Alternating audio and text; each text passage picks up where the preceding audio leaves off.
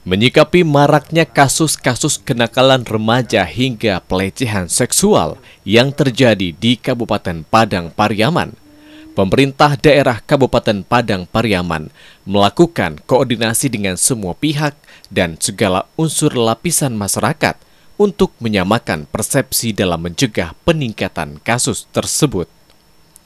Sekretaris Daerah Rudi Rapenaldi rilis mengatakan, upaya pencegahan ini diawali dengan rapat koordinasi yang diikuti Ketua DPRD, unsur Forkopimda, tokoh adat, tokoh agama, dan tokoh pemuda sepadang Pariaman beberapa waktu yang lalu. Pihaknya akan memprioritaskan dalam upaya menyelamatkan remaja dari pengaruh negatif, khususnya pelajar dan siswa. Penanganan ini disebut sangat mendesak dan penting oleh karenanya, perlu kerjasama dari semua pihak yang dimulai dari pemerintah, guru, aparat hukum, dan masyarakat, serta orang tua.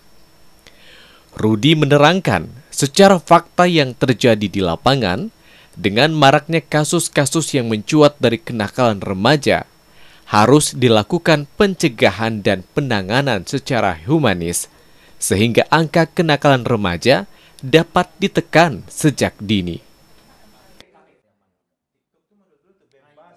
Di menyikapi persoalan eh, degradasi moral dan juga kenakalan remaja yang sangat meresahkan pada saat ini.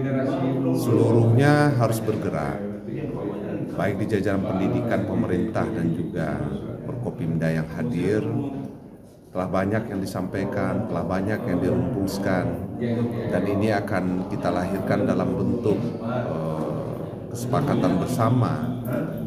Dan teman-teman di bagian hukum dan juga Kasapol PP dan UPD terkait juga sedang mengkaji ini sekarang apa regulasi yang mungkin akan kita lahirkan dari pertemuan kita hari ini yang tentunya tidak boleh bertentangan dengan regulasi yang lebih tinggi.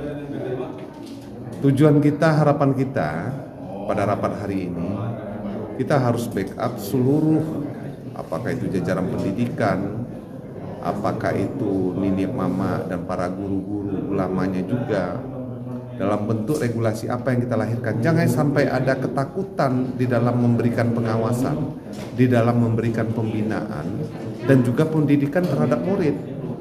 Tentunya ini harus kita dorong setiap sekolah harus memberikan, harus mewujudkan pendidikan yang betul-betul ramah terhadap anak dan bebas daripada bullying.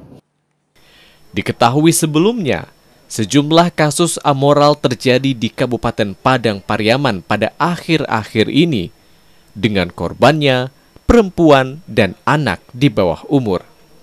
Dari Padang Pariaman, Dori Fedriwel, Padang TV.